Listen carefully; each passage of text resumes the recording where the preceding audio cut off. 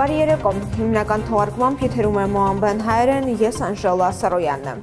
Վրաստանում COVID-յան իրավիճակը կրկին մտահոգիչ է։ Վերջին 24 ժամվա ընթացքում կորոնավիրուսով պայմանավորված մահացել է 37 անձ, իսկ վարակվել 3473-ը այստեղից 1493-ը Թբիլիսիում։ Սրա հետ մեկտեղ երկում վարակը հաղթարել է 3342 քաղաքացի։ 10 մահացություն եւ 448 նոր դեպք է հաստատվել Աջարիայում, որտեղ կրկին համաճարակաբանական բարդ իրավիճակ է։ Մնացած դեպքերն ըստ մարզերի բաշխվում են հետևյալ կերպ. Քվեմո քարտլի 190, Շիդա քարտլի 175, Գուրիա 55, Սամեգրոլոզե Մոսվանեթի 287, Կախեթի 98, Ցխեթամ Թիանեթի 119, Սամցխե Ջավախեթի 72 եւ Ռաճալի Չխումի Քվեմոսվանեթի 23։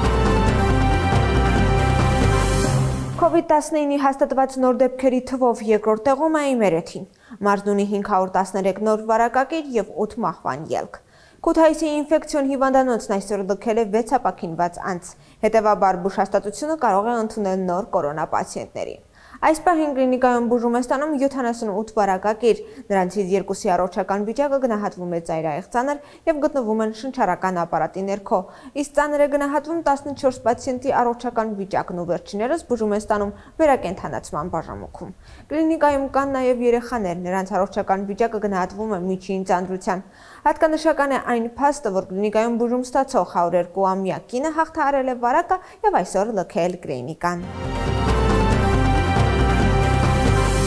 Միջգերատեսչական համակարգող խորհրդի այսօրվա նիստի ժամանակ քննարկվել է Վրաստանում համաճարակաբանական իրավիճակը եւ կիրառված տեղային նշանակության սահմանափակումները։ Տեսակապի միջոցով անցկացվող նիստը վարում էր վարչապետ Գեորգի Գախարյան։ Հանդիպանը նշվել է, որ չնայած կորոնավիրուսային վարակի դեպքերի աճին, երկիրը վարում է տեղային նշանակության սահմանափակումների կիրառման ռազմավարություն եւ որ համակարգված սահմանափակումներ չեն նախատեսվում։ Խոսքը վերաբերում էր տեղային նշանակության սահմանափակումների կիրառման գործընթացին, որն ուժի մեջ է մտել նոյեմբերի 9-ից։ Այդ կապակցությամբ սահմանված կանոնակարգերի կատարման վերահսկումը հետագայում ել ավելի կխստանա։ Խորհուրդը վերահաստատել է դիմակրելու եւ սոցիալական հրավերությունը պահպանելու կարևորությունը, ինչն էլ կօգնի կանխել վարակի տարածումը։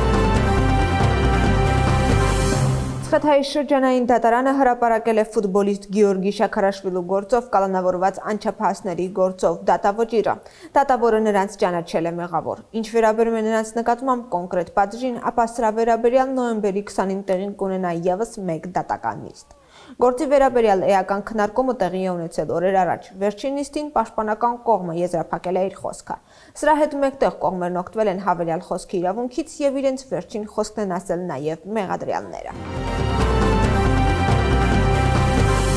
Աղմուկ էր Վրաստանի ֆուտբոլի ֆեդերացիայի մոտակայքում։ Ընթացող ցույցի ժամանակ տեղի ունեցել ֆիզիկական բախում ու լեզվակռիվ։ Ցուցարարների խոսքով բողոքի ցույցի պատճառը երեկայացած ֆուտբոլային խաղին վերաբերող որոշումներ, ըստ որի երկրպագուներին արգելված են մտնել մարզադաշտ։ Իսկ իշխանության բարձրաստիճան պաշտոնյաները գտնվում էին մարզադաշտում։ Բախումն առաջացել է այն բանից հետո, երբ ցուցարարները, ինչպես իրենք են ասում, ցանկանում էին գիրք ու կարմիր քարտ հանձնել ֆուտբոլի ֆեդերացիայի նախագահ Լևան Կոբիաշվիլին։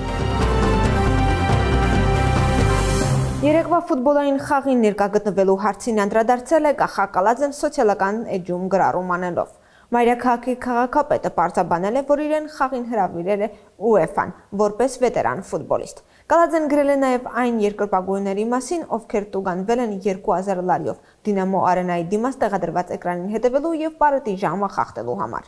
Ֆուտբոլի եւ իրենց ազգային հավաքականին նման կերպ երկրպագելն արժանի է բարձր գնահատականի եւ իմ կարծիքով տուգանքները չպետք է բեր լինեն այս մարդու ընտանիքի համար։ Այդ իսկ պատճառով խոստանում եմ օրենքի սահմաններում կարգավորել այս հարցը։ Ինչ վերաբերում է մարզադաշտում իմ ներկայությանը, կցանկանայի պարզաբանել, որ ես այլ վետերան ֆուտբոլիստների հետ այնտեղ էի գտնվում UEFA-ի պատվիրակության եւ ֆուտբոլի ֆեդերացիայի հրավերով, պայմանավորված իմ անցած ուղով եւ ֆուտբոլային կարիերայով, այլ ոչ թե որպես քաղաքական գործիչ կամ մայրաքաղաքի քաղաքապետ։ Դա ոչ մի տեսակի արտոնություն չէ։ Այստեղ կցանկանայի անդրադառնալ նաև այն փաստին, որ իմ հետ էր գտնվում ավակ որդիս Լևանը, եւ ովքեր այս փաստից սրտեղվել էին, նշեմ, որ գրեթե միշտ շատ փոքր տարիքից որդիս Լևանը ուղեկցում էր ինձ յուրաքանչյուր խաղի ժամանակ, եւ երեք էլ միասին ենք ներկայացել նման կարևորագույն հանդիպմանը։ Միգուցե ես պետք է հաշվի առնեի իրավիճակով պայմանավորված կանոնակարգը, սակայն երեք ինձ համար այնքան հուզիչ օր էր, որ ցավոք ես ուշադրություն չդարձրեցի այդ հարցերին։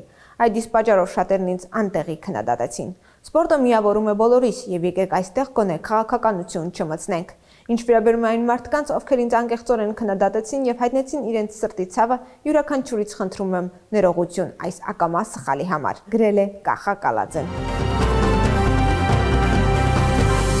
Ընդդիմության քաղաքական բողոքի օրակարգում շարունակում են մնալ փողոցային հանրահավաքները։ Նրանց խոսքով չնայած երկխոսության գործընթացի մեկնարկին, այնուամենայնիվ կշարունակվեն իշխող թիմի նկատմամբ բողոքը եւ ճնշումները։ Շաբաթ օրը խորհրդարանի շենքի դիմաց նախատեսված հանրահավաքի մանրամասները համաձայնեցվել են Լելո կուսակցության գրասենյակում տեղի ունեցած խորհրդակցության ժամանակ։ Քննարկման առարկա էր նաև Ամերիկայի Միացյալ Նահանգների պետքարտուղարի Վրաստան այցի ընթացքում անցկացվելիք հանրահավաքը։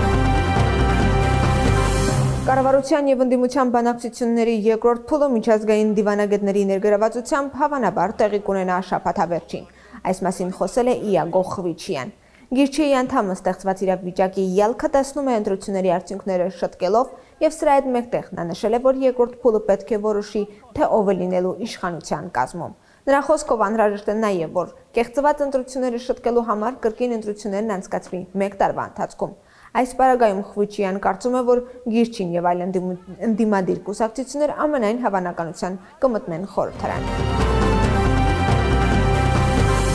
Արտադրության նախարարությունում տեղի ունեցել ազատ եւ արդար ընտրությունների միջգերատեսչական հանձնաժողովի 12-րդ նիստը։ Նիստին քննարկել են մամուլի տարածած հնարավոր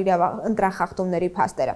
Պետական գերատեսչությունների կողմից հանձնաժողովի անդամները ստացել են տեղեկություններ, որոնք հիմնականում վերաբերում էին հնարավոր վարչական իրավախախտումներին քանի որ այս տարի միջգերատեսչական հանձնաժողովի մանդատն արգելում է նախընտրական քարոշչությունը եւ վարչական ռեսուրսների օգտագործումը քարոշչության ընթացքում, ընտրությունների ընթացքում պետական ծառայողների կողմից ընտրական օրենսդրության խախտումների կանխումը, ինչպես նաեւ բացահայտված խախտումների ազատ եւ արդարացի արձագանքը։ Ընդդիմության կուսակցությունների մեծ մասը, այդ թվում ազգային շարժման եւ եվրոպական Վրաստանի ներկայացուցիչները չեն ներկայացել նիստին։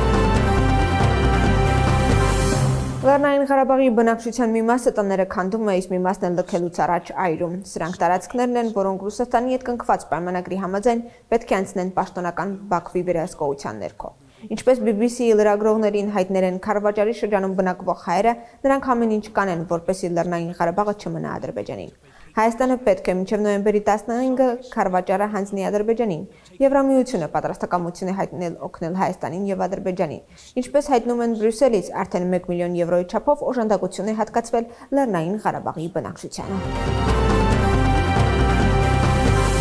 Այսօրվա համար նախատեսել էինք այսքանը։ Շնորհակալություն ուշադրության համար կհանդիպենք միմյանց հետ արդեն երկու շաբթի օրը։ Եղեք առողջ։